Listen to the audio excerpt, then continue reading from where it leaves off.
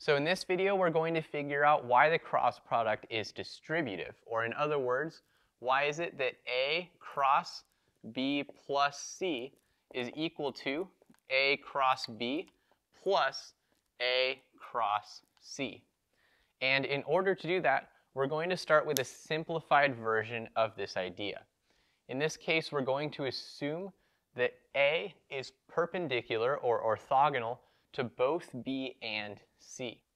So in other words, in that case, we could think about A as pointing straight out of the board. In that case, B and C are both going to have to be in the plane of our board.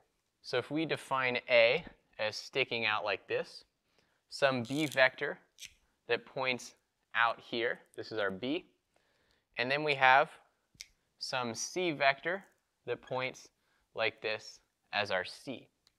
In that case, we could think about finishing this parallelogram that we've made, just like in that determinant video.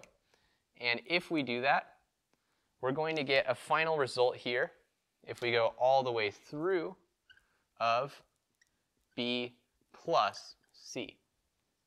Now we need to think about what happens when we take the cross product of A cross B and A cross C individually. Remember, first of all, that because A is orthogonal to both B and C, when we take the cross product here, sine of theta is going to be 1 because the sine of 90 degrees is just 1. So we don't have to worry about this part. When we think about what happens to each of these vectors, well, the magnitude of our b vector is already included in the formula for the cross product. But when we take the cross product, we're going to multiply it by the magnitude of A. So in other words, this vector is going to get scaled up by the magnitude of A. The same applies to the C vector and also to the B plus C vector. So when we take the cross product, we can think about taking this whole diagram and scaling it up by the exact same amount. The other question is, what happens with the normal vector? Or in other terms, when we take the cross product, where are all these vectors going to end up? Well, to do that, let's think about using the right-hand rule. If we start with A as our first vector, that's going to point out of the board, and then we curl our fingers towards C. The third orthogonal vector pointing down is going to be our cross product. So in that case, we're going to take A cross B as this vector right here. Notice it's orthogonal to B because we have a 90 degree angle here, and because it's still in the plane of the board, it's also orthogonal to A. We can do the same thing to C. We have to scale it up by the same factor as we scaled up B, and it's going to end up down here. And now, just like in our diagram up here, we can finish the parallelogram that we've started forming. So we can draw in that second red vector, and then our second blue vector like this. And this final intersection point down here, we can think about adding the two vectors. So this black vector is precisely A cross B plus A cross C. Because we know this red vector is A cross B, and this blue vector is A cross C. When we add those two up, this is what we get.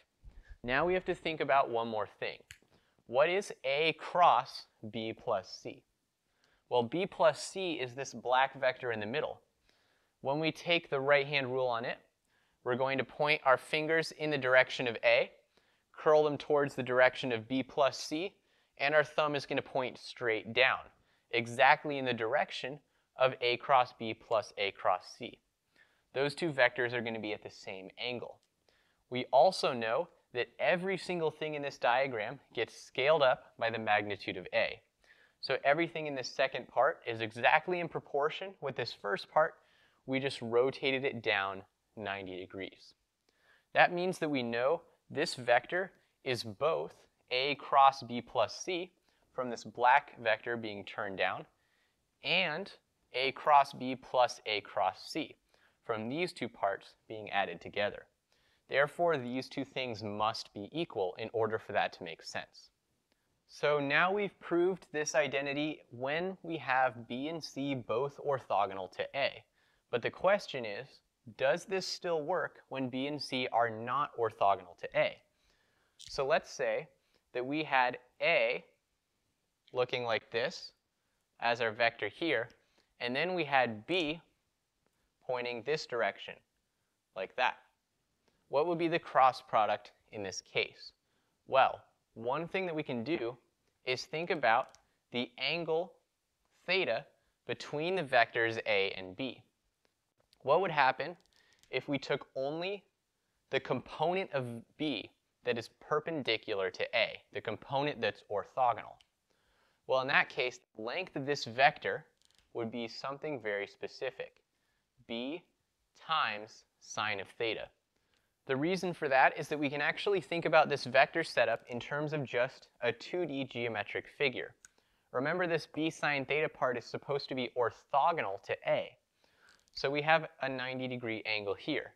We could think about this as just being the x and y axes of a normal plane. In that case, we'd have x going this way and y going this way. If we had our vector b pointing out like this, and we wanted to find the vertical component of b, well, we know in terms of horizontal and vertical, sine theta is going to represent the vertical component of a vector, and cosine is going to be the horizontal component. Just like on a circle, the sine of that value is the vertical component, and the cosine is the horizontal. So the vertical component of this b is going to be b sine theta. And if we let our horizontal axis the a, just like before, then the component of b that's orthogonal to a has to be b sine theta. Now what we need to think about now is what is a cross b sine theta? In this case, b sine theta is already orthogonal to a. We know that that's true. So this is going to be equal to the magnitude of a times the magnitude of b sine theta times, well, the sine of these two things is just going to be 1 because they're orthogonal, times the normal vector. This is exactly the same as the magnitude of b times sine theta, since that sine is just a number. So we know that a cross b sine theta is this right here. Well, that's exactly the same as the formula that we have up here. And because b sine theta is in the same plane as our vector b, the normal vector is also going to be the same, which means a cross b sine theta equals a cross b. b sine theta is perpendicular to a, just like in this diagram. So if b sine theta has this distributive property, then b is also going to follow the exact same property because we can always reduce, for cross products, any vector down to just the part that's orthogonal to a. And that's going to be where the sine comes from. So that's the generalization of this proof right here to any vector. We just reduce it to its orthogonal component. And this diagram is the proof that the cross product is distributive.